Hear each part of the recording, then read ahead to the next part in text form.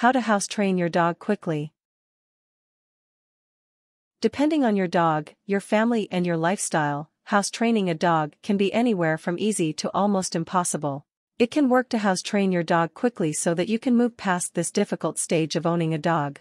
It takes planning, dedication and patience, but your dog can get house trained in a short amount of time.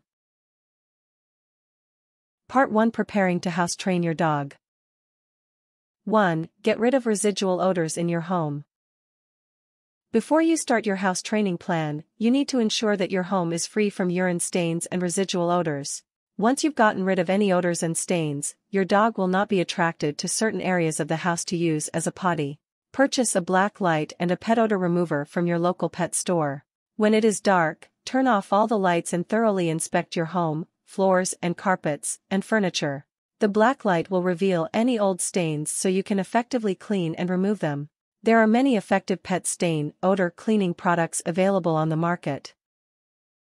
2. Assemble your supplies. Having your supplies on hand will make it easier for you to focus on house training your dog without needing to run to the store. Gather the following supplies. Wire crate, get a good quality wire crate that is large enough for your dog to stand up, lie down and turn around in. Position the crate in a quiet, but not isolated, part of your home. Collar and leash. Chew toys and squeaky toys. 3. Arrange for help if you aren't home during the day. In order to get your dog house trained in 10 days, you need to follow a strict schedule of potty breaks, meals, playtime, and crate confinement. If you can't come home for certain parts of the day, then arrange a dog walker or pet sitter to visit your house to take care of the midday break. Part 2 Following a consistent routine. 1. Follow a 24-hour schedule. In order to house train your dog in 10 days, you need to strictly follow a schedule. This will establish a routine for both you and your dog.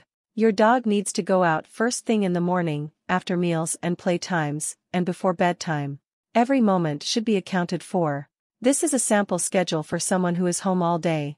7 a.m., wake up and take dog outside. 7 colon 10, 7 colon 30 a.m., free time in kitchen. 7.30 a.m., food and water. 8 a.m., go out. 8.15 a.m., free time in kitchen. 8.45 a.m., crate confinement. 12 p.m., food and water. 12.30 p.m., go out. 12.45 p.m., free time in kitchen. 1.15 p.m., crate confinement. 5 p.m., food and water. 5.30 p.m., go out. 6.15 p.m., crate confinement. 8 p.m., water. 8.15 p.m., go out. 8.30 p.m., free time in kitchen. 9 p.m., crate confinement. 11 p.m., go out and crate confinement overnight. 2. Choose a designated spot for toileting. Select a place in your backyard that is suitable for your dog's toileting. The base of a tree or a green patch of grass is ideal. Use this spot every time you take your dog to the potty. At a scheduled potty time, or when you recognize your dog's cues for needing to relieve himself, take him outside to this spot. Use consistent language to refer to this place. For example, when your dog reaches this spot, say, go potty, or use a similar verbal cue. Then your dog will associate this spot with toileting. Be sure to follow your city's ordinances with regards to pet waste removal. If you are in a city and don't have a good green space for your dog to toilet, make sure you have plastic bags to pick up the waste. If you live in a small space, such as a high-rise apartment, you might need to use a dog litter tray in your apartment. This will give your dog a place to go inside. 3. Make the dog's crate a safe place. Your dog will stay in his crate for a few hours during the day, as well as overnight. Dogs like to have a small den to sleep in. A crate is a good place for the dog to feel safe. Make the crate comfortable, with a blanket, chew toys and squeaky toys. Don't use the crate as a punishment. Otherwise, your dog will associate this place with fear or anxiety rather than safety and comfort. 4. Learn your dog's signs. Pay close attention to your dog so that you learn when he has to go. This might include the dog walking around stiffly or in circles, sniffing the floor like he's searching for somewhere to pee, or letting his tail rest in a strange position. If your dog looks like he needs to relieve himself, take him out to his designated spot right away. Do this even if you're not at your scheduled potty break. 5. Keep track of your dog's habits. Write down your dog's eating schedule and bathroom habits. Note when your dog urinates and defecates.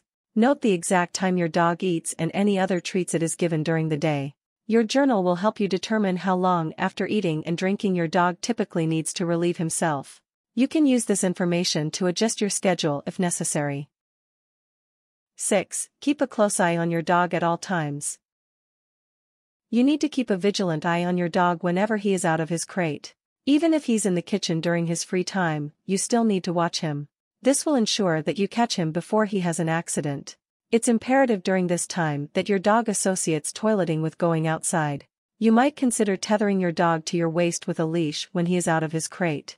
This way, you will be sure to keep him very close to you. You can track his movements more closely. 7. Clean up messes immediately.